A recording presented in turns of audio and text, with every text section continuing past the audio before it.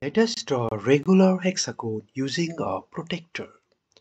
We draw a line segment and then a number of angles that measure 60 degree and 120 degree.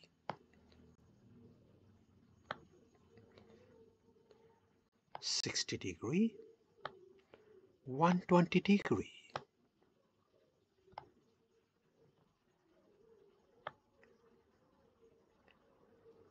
60 degree. 120 degree. Further observe that we have made sure that arm length of each of those angles are same. Let us join the end point of the arms by using a straight line. So we got a side and two side. Three four five 6. So we have drawn a regular hexagon by just drawing a number of angles that measure 60 degree and 120 degree and so on.